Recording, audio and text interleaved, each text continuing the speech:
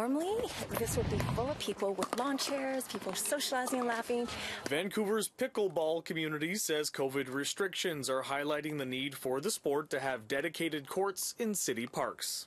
The issue is that the city does provide nets, but during COVID 19, because of the safety issue of everyone touching it and setting up and tear down, they've locked it out. So only people who actually own a net can play at the pickleball court. If you're not familiar with pickleball, it's a racket sport quickly growing in popularity.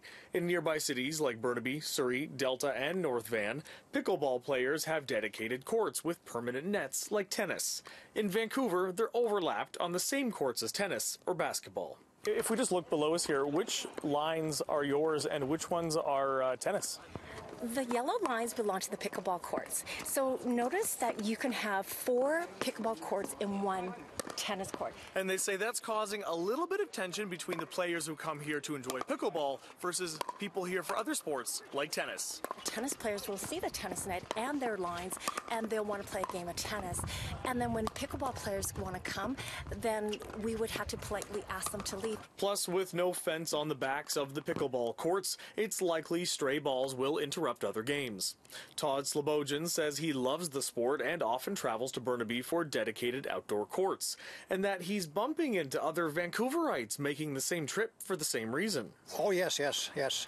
Yes, many of the same people that I play with in uh, the gymnasiums in, in, in Vancouver, in, in Renfrew, for example, are also there. So many people travel there.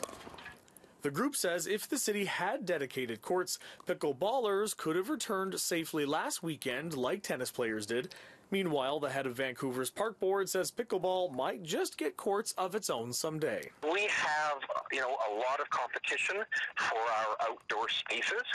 Pickleball is on the list. It is being investigated as um, a sport or an activity that will get dedicated space when we have space available.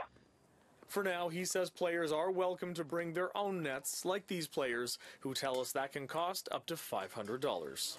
In Vancouver, David Zura, City News.